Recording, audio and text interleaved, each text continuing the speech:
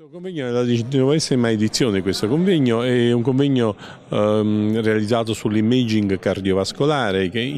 abbiamo approfondito non solo l'ecocardiografia che è un po' il centro dei nostri interessi ma anche la risonanza magnetica e la TAC multislice. Il convegno eh, vede riuniti esperti italiani e stranieri, in particolare ci sono i colleghi dell'Università Competenze di Madrid e i, convegni, i colleghi del Brompton Hospital eh, di Londra eh, che sono venuti a darci una mano in questo convegno.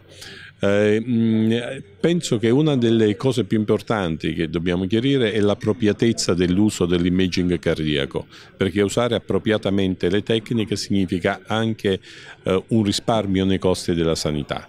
Quindi dobbiamo ben definire la, uh, quando usare l'ecocardiografia, quando usare la risonanza, quando la TAC multislice. Particolare attenzione in questo convegno è dato all'eco uh, tridimensionale, che è una delle novità uh, più recenti dell'ecocardiografia, allo speckle tracking che serve a valutare la funzione del ventricolo e in particolare poi alla stessa risonanza perché eh, chiaramente è la tecnica che ora sta crescendo e che sarà molto utile ai cardiologi per prendere decisioni.